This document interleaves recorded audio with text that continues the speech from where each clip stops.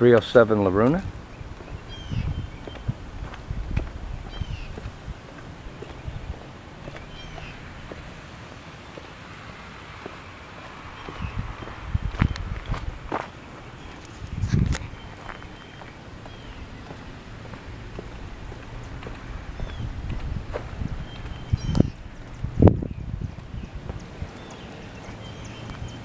That's where we first lived when we moved here.